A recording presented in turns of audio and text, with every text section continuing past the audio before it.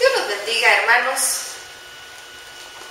¿Cuántos de ustedes aceptaron el reto que platicábamos anteriormente de convertirnos todos y cada uno de nosotros en verdaderos adoradores? Espero que lo hayan aceptado bastantes y que realmente nos estemos convirtiendo en verdaderos adoradores que adoremos en espíritu y en verdad a Dios que es el único digno de toda adoración, de toda alabanza, de toda honra y de toda gloria.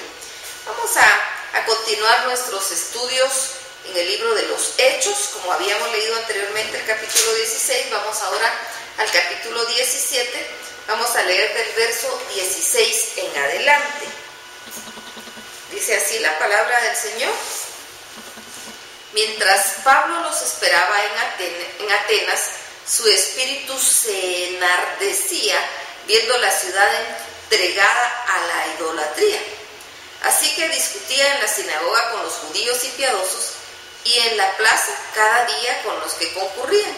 Y algunos filósofos de los epicúreos y de los estoicos disputaban con él y unos decían, ¿qué querrá decir este palabrero? Y otros, parece que es predicador de nuevos dioses, porque les predicaba el Evangelio de Jesús y de la resurrección. Y tomándolo le trajeron al, al aerópago, diciendo, ¿podremos saber qué es esta nueva enseñanza de que hablas? Pues traes a nuestros oídos cosas extrañas. Queremos pues saber qué quiere decir esto porque todos los atenienses y los extranjeros residentes ahí en ninguna otra cosa se interesaban, sino en decir o en oír algo nuevo.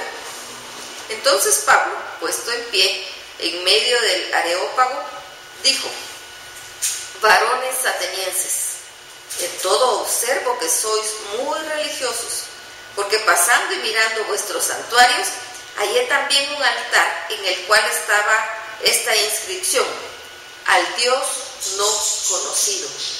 Al que vosotros adoráis, pues sin conocerle, es a quien yo os anuncio.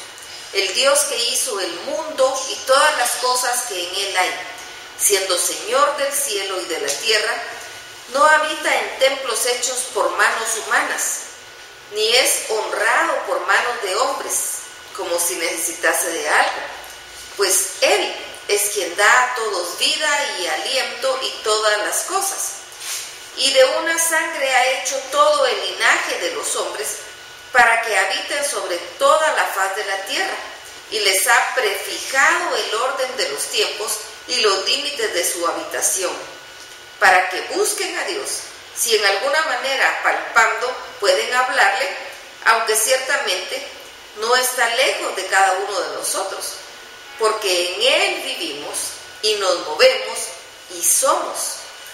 Como algunos de nuestros propios poetas también han dicho, porque linaje suyo somos. Siendo pues linaje de Dios, no debemos pensar que la divinidad sea semejante a oro o plata o piedra, escultura de arte y de imaginación de hombres. Pero Dios, habiendo pasado por alto los tiempos de esta ignorancia, ahora manda a todos los hombres en todo lugar que se arrepientan, por cuanto ha establecido un día en el cual juzgará al mundo con justicia por aquel varón a quien designó, dando fe a todos con haberle levantado de los muertos. Pero cuando oyeron lo de la resurrección de los muertos, unos se burlaban y otros decían, ya te oiremos acerca de esto otra vez. Y así Pablo salió de en medio de ellos, mas algunos creyeron, juntándose con él, entre los cuales estaba Dionisio, el, el areopagista, una mujer llamada Dámares y otros con ellos. Bien, aquí vemos esta experiencia que tiene Pablo en Atenas. Hay varios puntos interesantes aquí. Primero vemos que él llegó a Atenas no a predicar, sino que solo estaba esperando que, se, les, se sumaran, que llegaran eh, luego eh, Silas y Timoteo, que, que ellos iban a llegar.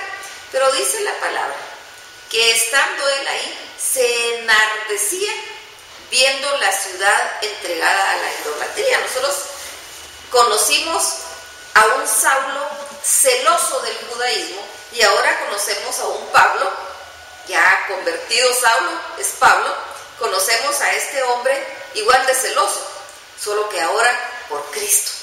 Y, al llegar a esta ciudad que estaba totalmente entregada a la idolatría, eso empieza a crear celo en él, de tal manera que él empieza a molestarse, a enardecerse, a enojarse por ver esa ciudad tan contaminada con la idolatría. Em, Atenas, la gran Atenas, la gran ciudad dedicada al conocimiento, la, la ciudad de tantos filósofos, perdida totalmente, con gente tan inteligente, pero tan alejados de Dios. Y empieza él a platicar, dice la palabra, en las sinagogas, en las plazas, y, a hablarles definitivamente de la palabra, que era lo, lo que él sabía hacer. Él era una persona preparada. Así que él podía enfrentarse y podía hablarles y podía decirles de tal manera que podía captar la atención de ellos porque él era una persona preparada y por supuesto el Espíritu Santo estaba con él.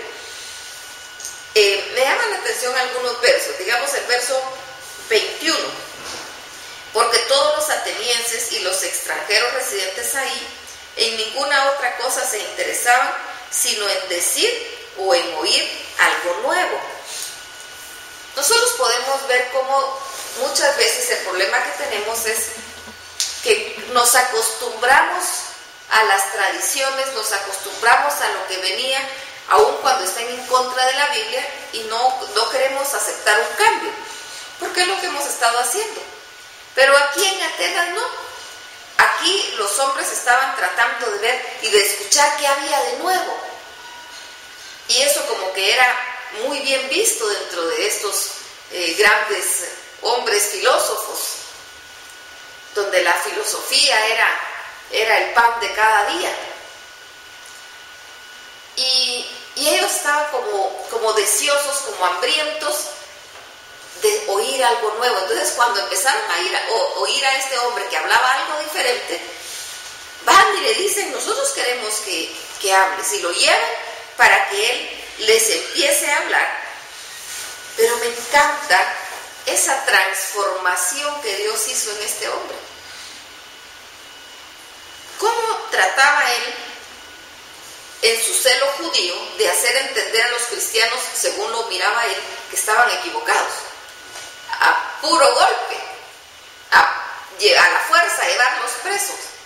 Ahora aquí, era el mismo hombre pero ya transformado por el poder del Espíritu Santo, por supuesto el carácter es el mismo, se enardece, es el mismo hombre celoso, pero es sabio, con la sabiduría que solo viene de Dios, porque viene y se acerca y le dice, eh, queremos saber de qué es lo que tú hablas.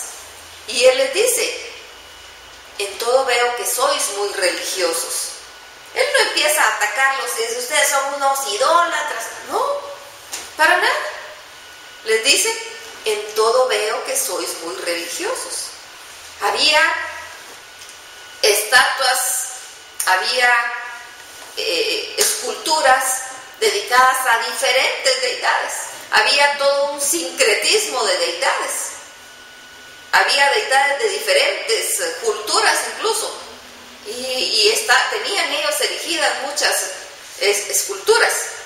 Y entonces viene y les dice, todo veo sois muy religiosos, pero porque he visto que ahí está erigido un altar al Dios no conocido. Ese es del que yo vengo a hablarles. De ese Dios no conocido es del que yo vengo a hablar, porque ese Dios es el único Dios verdadero, es el creador de todo cuanto hay. Definitivamente se iba a captar la atención de estos hombres. Y la captó. Pero viene él y también les dice, siendo pues en el verso 29, del linaje de Dios, no debemos pensar que la divinidad sea semejante a oro o plata o piedra, escultura de arte, e imaginación de hombres. Fíjense, tan sutil que empieza y ahora les dice, pero son esculturas, están adornados con plata, están adornados con oro, pero eso no es Dios. Eso es parte de la creación de Dios, eso no. Y cuando les habla acerca de la resurrección, ahí sí ya eran demasiado racionales como para poder entender eso, porque como no los estaba tocando el espíritu, sino que era su intelecto el que estaba trabajando, entonces no lo creen. No lo creen, no lo aceptan, empiezan a, reñir con él, pero siempre, la palabra dice que no regresa vacío, no regresó vacío.